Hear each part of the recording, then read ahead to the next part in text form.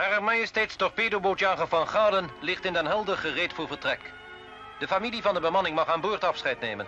En bij gevolg is het op het schip zo druk als in de Kalverstraat op zaterdagmiddag. Maar de stemming is ernstig. De Van Galen gaat in de Koreaanse wateren de Evertsen aflossen... die dan tien maanden deel heeft uitgemaakt van de zeestrijdkrachten van de Verenigde Naties. Omstreeks het middaguur is het zware ogenblik van het afscheid aangebroken.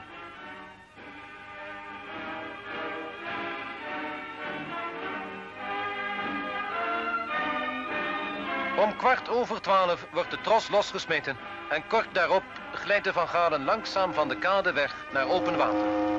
De goede wensen van het vaderland vergezellen schip en bemanning op de reis naar het Verre Oosten.